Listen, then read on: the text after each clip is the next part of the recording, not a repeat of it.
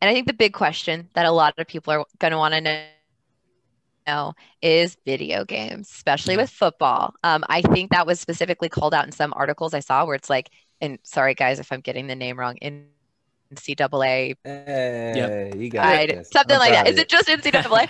um, but for that, I think there's going to be special rules around, around that because there's been a lot talked about. So, do we know how that could look? What that's going to look like?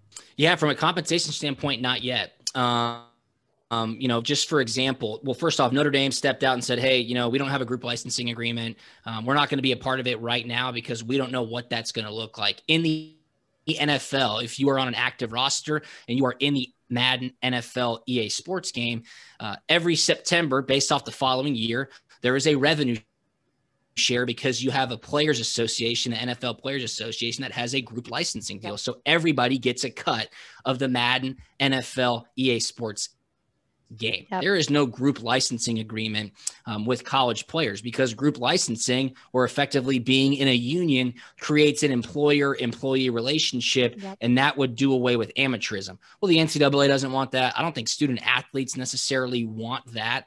There are ways to make group rights happen at the collegiate level without creating employer employee relationship.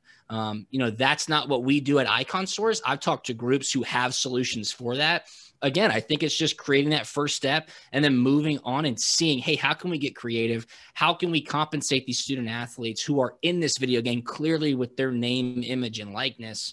Um, and how do you keep it away from universities? Because again, if you bring it to the universities because you're using their marks and logos, you're using the student athlete's name, image, and likeness, well, then Title IX Yeah. comes into effect, right? I mean, because the football players are creating the value of that game, but if you flow it through the universities, well, then all, the non-revenue and other revenue sports are going to sit there and go, well, why are they getting Yep. paid, but we're not? So that's where the sticky stuff comes in. Surely there is a solution.